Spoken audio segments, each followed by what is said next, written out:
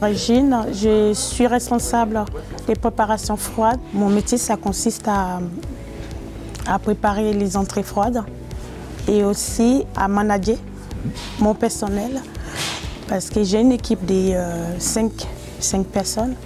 On a quatre entrées différentes préparées euh, chaque jour, mais dans chaque entrée, on a au moins 70 euh, entrées, c'est-à-dire 4 entrées fois 70, mais différents. Ma vie professionnelle, avant, j'ai travaillé dans le privé et j'ai changé parce que j'ai trouvé que chez Elior, on est plus détendu et aussi on évolue. J'ai choisi ce métier de la restauration parce que euh, c'est ma passion. J'aime bien ce que j'ai fait. Aussi, j'aime euh, le contact des clients. J'aime la créativité que j'ai fait au sein euh, du restaurant.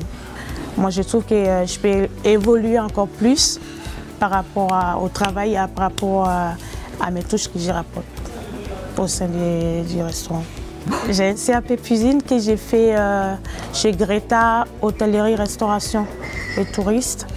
J'ai commencé euh, en tant qu'hôtesse chez Elia et euh, j'ai eu des formations à l'école Ferrandi pour passer à responsable euh, préparation froide.